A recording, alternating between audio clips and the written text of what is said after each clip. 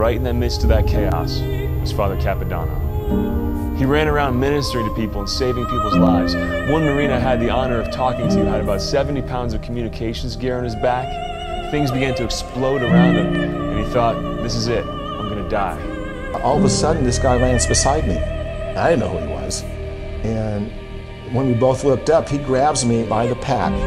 As I mentioned in this article I wrote, the hands of God reaching down to lift me up. I don't know if we had to hit the deck one or two more times, but he literally threw me into this bomb crate. And I land in there, and I thought he was going to come in with me. And uh, he didn't. And he, we just made eye contact. There was no verbal message. We couldn't, we couldn't communicate. It was so loud, so much noise going on. And we just looked at each other, and he gave me a look like, don't worry, it's going to be okay.